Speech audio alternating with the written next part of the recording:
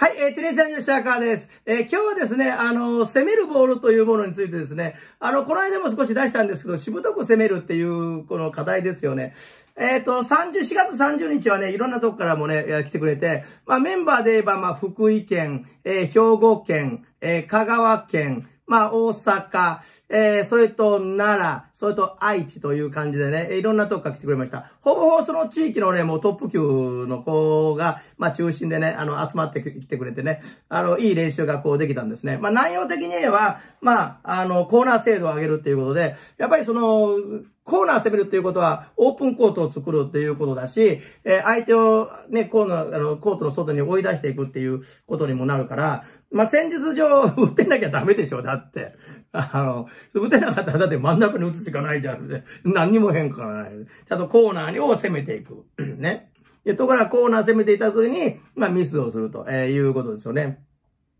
え特にウイニングショットの真ん中に決めるって、それはの正面っていうのあるかもわかんないけど、あの、やっぱりオープンコードをね、しっかりこう決めていくんだけど、そこが決まらないと、えー、いうことですね。その決めるときに、あの、例えば頭の中でね、どういうことを考えてるのっていうことですね。まず、えっ、ー、と、攻めると決めるってまた違ってくるのね。あの、えっ、ー、と、決めるっていうのは完全なフィニッシュだし、え攻めるっていうのはこう作っていくことだし。で、ここチャンスボールで決めればいいんだけど、あの、イメージ的に、あの、決めじゃなくて、もう一本攻めるっていうイメージで、こう、打って、まあ、それが最終的に決まればいいじゃん。あの、そのことによってちょっと考え方をね、決めるから、ちょっと攻めるっていうイメージにするだけでミスが減るかもわかんないし、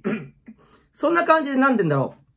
自分のこう内面的なイメージとか、内面的な、あの、使い方によって、かなり、えっ、ー、と、コーナーミスっていうのはこう減るんじゃないのかなとは思うのね。だからコーナー、えー、が、こう決まんないからで、球出ししてね、こう一生懸命バーンバーンとこう決める練習したとして、で、球出してね、入るんだったら、それはテクニック的にね、技術的には、あの、マスターできてるってことでしょ？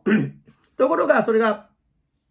試合で入らないっていうことは、試合という、こう、オープンスキルという技術の中でね、いろんなことを判断して、えー、か、まあ、あの、行動するというのをオープンスキル。えー、例えば、あの、水泳みたいにね、こう、あの、例えば100メートル走みたいに何も考えず走ってるだけっていうのはクローズドスキルっていうスポーツなんだけど、テニスは判断して行動するっていうことだから、これオープンスキルっていうスポーツなんですよね。なので、あのー、球出しはね、完全なもうクローズドスキルに近いじゃない？だからオープンスキルになった時に、やっぱりこうミスをするということですね。だからその時に、えー、狙う時にどういうふうにイメージしてるのっていうことなんですよね。例えば、同じコースを狙うだけにしても、その考え方でね、あの、例えばそこを、あの、時間ね、相手の時間を奪うっていうイメージで打つのか、で、時間を奪いきれないんだったら、あの、例えば、あの、打点をね、あの、ちょっと相手の打点を高い、弾まして、打点、あの、打点の高いところをね、横方向、あの、走らせて攻め攻めていくとかね。なんか、いろいろあるでしょ？その、例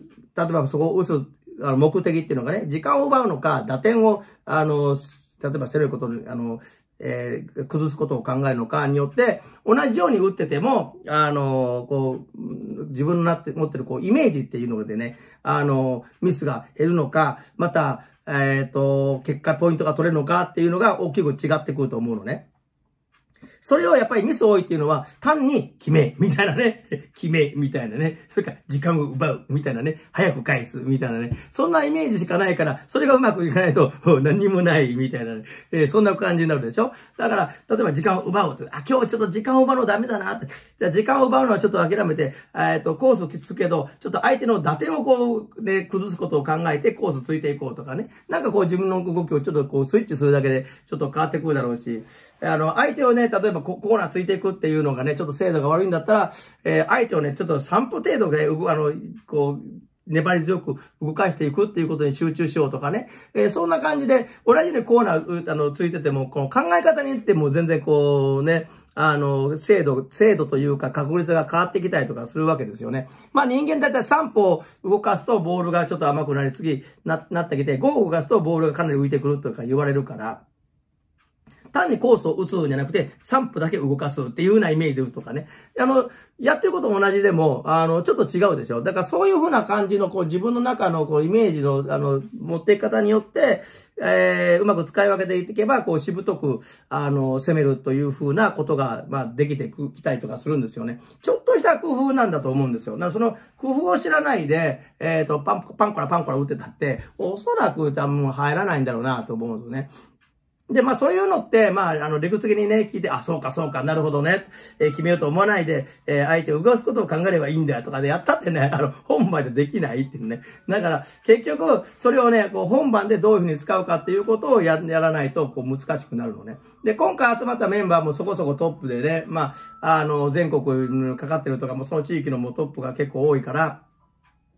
やっぱりその頃なんかでも、やっぱその制度っていうのをやっぱ調整しておきたいとこう思うわけですよね。なので、あの、そこでもう本当にもう、うちできてるのはほとんどライブね、ライブの打ち合いが中心で多いから、もう打ち合い打ち合いがね、ある程度、まあ、あの、初心者じゃなくて、ある程度こう、打てる子らが集まってくれて、まあ、えっ、ー、と、曜日によっては中学生以上だよって。で、曜日によっては小学校4年から6年生までねってね。で、まあ、中学生レベルでもちょっとあんまりちょっとあまりちょっと心配だったら小学生の方に入ってねって。まあ、小学生とか言っても、一応ある程度打てる子らばっかりだから、その、まあ、ランカー、ランキング、その小学生のランキング上位の人が、まあ、中心なんでね。あの、結構ね。まあ、あの、ちょっとランキングね、ちょっと不安だという人は、あの、えっ、ー、と、連絡いただければ、あの、この日は入れるよとか、この日はちょっと厳しいですよっていうのはちょっとお伝えするので、まあ、全部が全部の日はどうかっていうのはちょっとわかんないんですけど、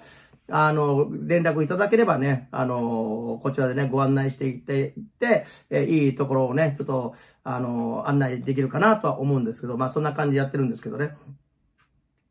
まあ、あのー、話戻って、こう、本当の打ち合い、本当の試合に近い形の中で、それをどういうふうに決めていくかっていうことをずっとね、もう丸一日やるのね。ずっとね、同じことにもずっとひたすらひたすらね。あの、そんな感じだから、まあ、だから、あの、基本練習的なことも、あの、状況によってはあるけども、ある程度、こう、やった子がやる、あの、経験ある子が来てるから、ほとんどもう本当実践練習に近い反復練習という形のものをやってますということですね。なので、あの、チャンスボールを決めていくとか、あの、甘いボールを、あの、例えば攻めていくっていうのは、球出しではなんかいくらでもできると思うのね。これブロック練習って言うんだけども、それを例えば状況によってこう、ランダムなのランダム練習って言うんだけど、まあ、それに例えばね、メンタルプレッシャーね、メンタルプレッシャーをかけたりとか、なんとかいろんなものが加わって、こう、アレンジされて、で、自分のその、得意なね、えっ、ー、と、コースっていうのを、えー、集中的にやるのか、もう一つは自分の苦手なところをこう集中的にやるのか、それはその人にもよるんだけども、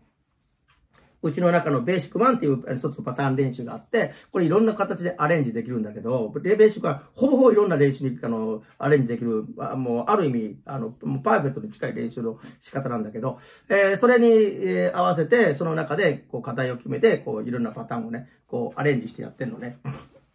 よくね、あの、うちに来る人がね、なんか同じことしかやってないやんってこと言われるかわかんないけど、あの、同じベーシックワンでも課題が全然違ってる内容全然違うから、あの、それでこうやってるものなので、あの、そこでやっぱり実践的なね、えー、内容を本当に実践に近い状態で反復練習をするということですね。まあ、多くがあともう一つ多いのは、なんて言うんだろう、あのいろんなね、練習盛りだくさんのとこ多いのね。でもそれは仕方ないと思うんですよ。やっぱ短い練習時間の中で、やっぱりあれもやっとかなきゃ、これなっとかなきゃ、ネットプレイもやっとかなきゃとかといろいろこうあるから、だから、あの、どうしても盛りだくさんになり気味になるし、まあ、だから上手にはなれるんだけど、やっぱり一つのことがね、こう繰り返してこうできないっていう欠点もあると思うのね。やっぱりしょうがないじゃない？それはもう他のコーチもね、一生懸命やってくれてると思うんですよ。その短い時間でね、工夫してやってくれてると思います。3時間丸々ね、できるところもあれば、やっぱり2時間とか下手したら1時間半のところもあるかもわかんないし、かなり工夫してやってくれると思います。まあ土日に関しては一つの、えパターンをもう反復っていうことが目的なので、レッスンじゃないんですよ。あの、うちの土日は土日の練習会になってるから、で、レッスンではありません。えー、で、またうちであの、テニススクールでもありません。ちゃんと、あの、教育委員会の方に許可をもらって、そこのコートを、で、えっ、ー、と、教科ということで、育成ということでさせてもらってる期間なので、テニススクールではないんですよ。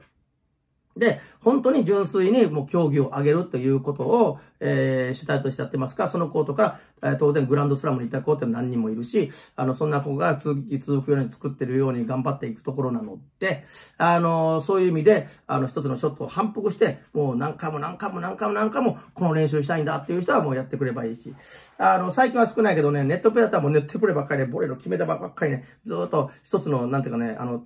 まあ、必要だったら球出していくと調整する場合があるけど、あの、もうほぼほぼ、なんかもう自分のあのショットっていうか、なんか自分のものが多分あるとは思うから、そういう中で、もうゲームに近い中で、ひたすらこう、決める練習をひたすらひたすら、もう一日でもひたすらこうやるというね、えー、そういうな趣向でやってるのね。なんそういう感じやらないと、やっぱりああいう攻めるボールっていうのは、あの、しぶとく例えば攻めていくっていうのは、なかなかできないんじゃないのかなとは思うのね。結局、反復練習でね、えっ、ー、と、済ませるところで非常に多いと思うので、ぜひともね、あの、また興味のある方は来ていただければいいんじゃないのかな。まだちょっとそこまで不安だなっていう人は、何回かね、メールでね、お送りしていただければ、とか、あの、ビデオとか送ってもらったら、まあ、このレベルだったら多分大丈夫だと思うよとか、このレベルだったら一回プライベートかなんか受けてもらった方がいいかもわかんないですね、とか、あの、アドバイスはできると思うので、えっ、ー、と、一回ね、連絡いただければと、えー、思います。いろいろ悩むことあるかもわかりませんけど、あのー、ね、えー、頑張ってね、あの、このね、ジュニアの海を渡っていきましょう。えー、ということで皆さん、頑張ってください。